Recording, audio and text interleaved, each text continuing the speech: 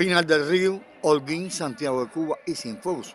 Territorios con tradición, arraigo y resultados en el deporte de las raquetas y los volantes, además de tener en su plantilla la mayoría de los atletas con experiencias competitivas de la versión precedente, aparecen como los territorios con mayores opciones para la disputa del podio, sin descartar a los habaneros, agramontinos y granmenses que pueden incluirse en la batalla por las primeras tres posiciones de los Juegos Escolares a efectuarse entre el 8 y el 15 de julio en la sala techada de la Escuela de Medicina Raúl Toticoto Raúl de la Perla del Sur.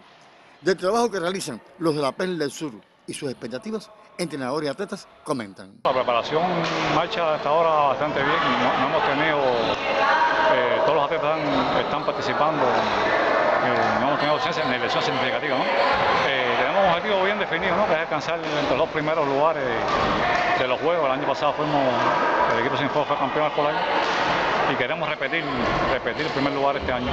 Este año eh, espero mejorar el color de las medallas, espero coger oro en individual, oro en doble mixto y aunque sea en mixto, coger plata.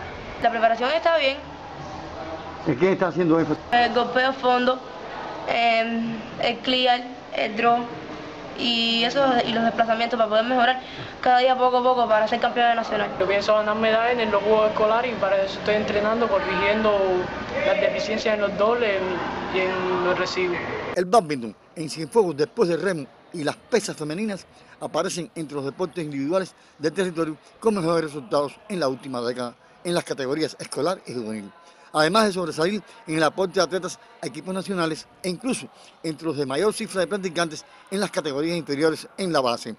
Preservar esos distintivos está en el empeño de los entrenadores y atletas de la provincia en la sexagésima edición de los Juegos Escolares que está por comenzar en los próximos días.